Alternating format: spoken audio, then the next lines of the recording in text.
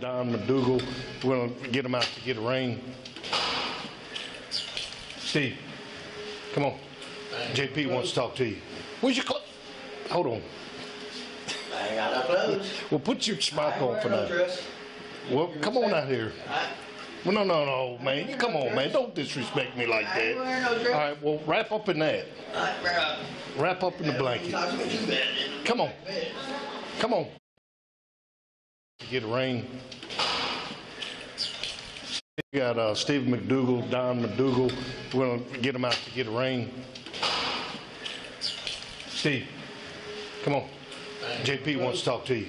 Where's your clothes? Hold on. I ain't got no clothes. Well, put your smock on for now. Well, come on out here. Well, no, no, no, man. Come on, man. Don't disrespect me like that. All right, well, wrap up in that. Wrap up in the blanket. Talk to me too bad. Come on. Come on. Go back to bed. Steve, come on. Let her arraign you real quick.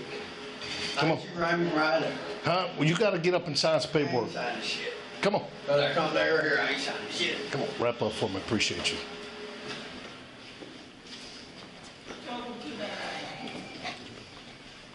Here, I'll hold it. All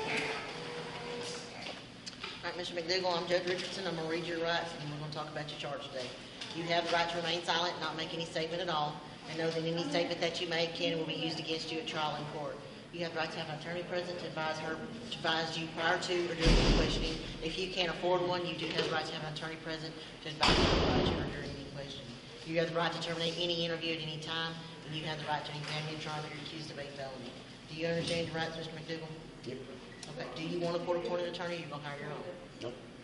Which one? I don't need a time. You gonna hire your own? Yep.